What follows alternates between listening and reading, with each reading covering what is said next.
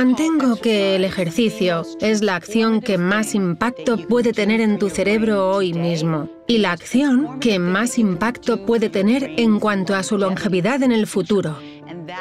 Por tres motivos.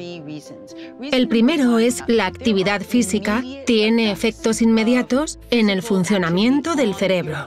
Como hemos comentado, hay una mejora inmediata del estado de ánimo, porque estás estimulando de manera directa los neurotransmisores positivos que hemos mencionado. Serotonina, dopamina, noradrenalina y endorfinas.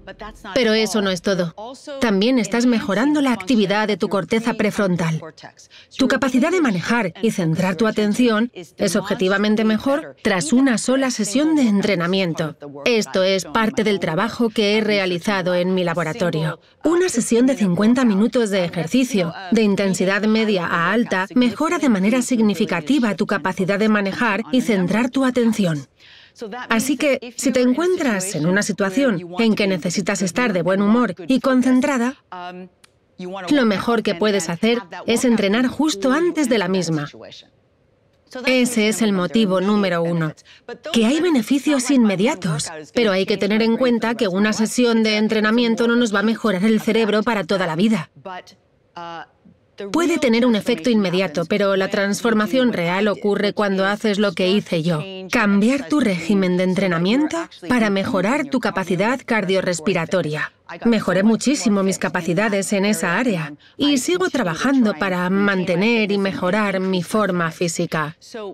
Gracias al ejercicio a largo plazo, estarás cambiando literalmente tu cerebro. El efecto más importante de esto es que al hacer ejercicio estimulamos el nacimiento de nuevas células cerebrales en la estructura que yo llevaba estudiando 25 años antes de cambiar de objeto de estudio, la estructura más importante para la memoria, el hipocampo. Al hacer ejercicio, nacen nuevas células cerebrales que funcionarán mejor que las células que llevan en tu hipocampo desde que naciste. Son más excitables, tienen mayor predisposición a incorporarse a los circuitos de la memoria que las células que llevan ahí toda tu vida y hacen que tu memoria funcione mejor.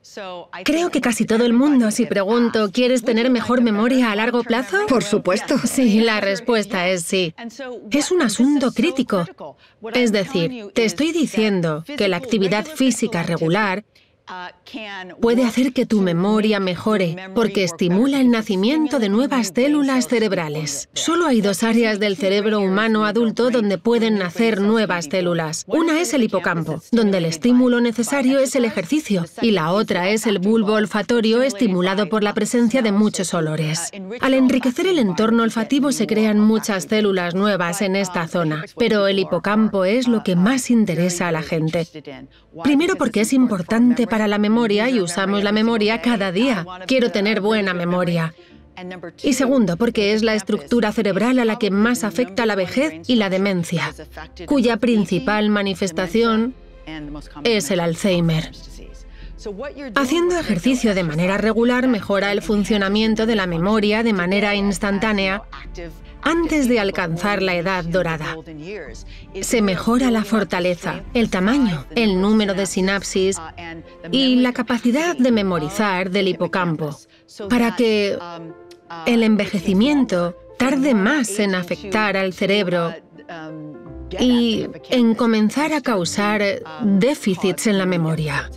Además, si tienes demencia o Alzheimer, estos tardarán más en atacar el hipocampo, que es lo que hacen, y en llegar a hacerle el daño necesario para que comiences a ver los efectos tempranos de la demencia, como no acordarte de qué día tenías esta o aquella cita o cosas así.